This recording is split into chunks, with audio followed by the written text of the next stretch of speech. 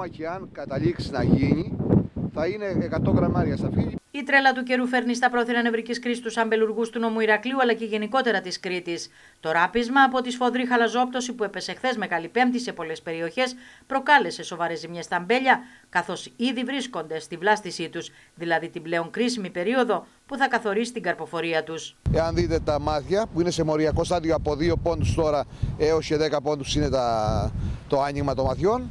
Θα δούμε λοιπόν ε, ζημιές οι οποίες ε, εμείς το ονομάζουμε τυφλό χτύπημα γιατί; Γιατί ένα σταφύλι το οποίο ψήνεται από το κρύο και από το χαλάζι, εκεί που είναι να γίνει 1,5 κιλό ή 2 κιλά, καταλήγει να γίνει 200 γραμμάρια λόγω της ψήξης της οποίας παθαίνει.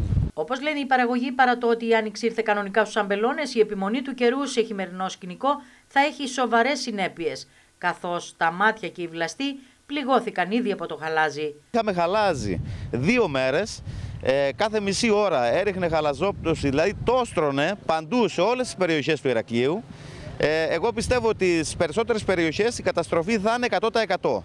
Το αμπέλι είναι τώρα στα πιο ευαίσθητα στάδια. Τα πρώιμα έχουν μήκος βλαστή γύρω στα 30 εκατοστά και τα όψιμα είναι από 2 μέχρι 5 εκατοστά τα βλασταράκια που είναι στα πιο ευαίσθητα στάδια. Εκεί λοιπόν χτυπάει το χαλάζι και σαπίζει σιγά σιγά ο βλαστός και πέφτει από τα μπέλη με αποτέλεσμα να χαθεί η παραγωγή. Το πραγματικό μέγεθος της ζημιάς πάντως αναμένεται να φανεί ξεκάθαρα τις επόμενες ημέρες. Αυτό θα φανεί τις επόμενες δύο ή τρεις μέρες ε, που οι βλαστοί από τα χτυπήματα του χαλαζιού θα γίνονται καφέ και θα πέφτουν κάτω. Οι αμπελουργοί πάντως θα πρέπει να είναι έτοιμοι να προχωρήσουν σε δηλώσεις ζημιών, δεδομένου ότι υπάρχει ασφαλιστική κάλυψη από τον ΕΛΓΑ και άρα η δυνατότητα να πάρουν αποζημιώσεις για καιρικά φαινόμενα όπως είναι η χαλαζόπτωση. Είναι δικό μας ταμείο, το οποίο εμείς ασφαλιζόμαστε σε δικά μας χρήματα, οπότε όσοι άνθρωποι υπάρχουν ζημιά και διαπιστωθεί από τον ΕΛΓΑ, την οποία έχω έρθει σε επαφή και τις επόμενες μέρες θα βγουν έξω οι επόπτες να δουν σε όλη την Κρήτη που υπάρχουν ζημιά σε τέσσερα μπέλια ή σε άλλες καλλιέργειες,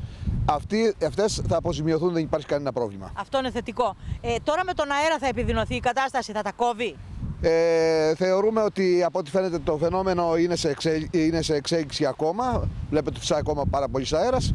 Ε, δεν ξέρουμε αν υπάρχει άλλη χαλασόπτωση. Ε, η ζημιά όμως έχει γίνει.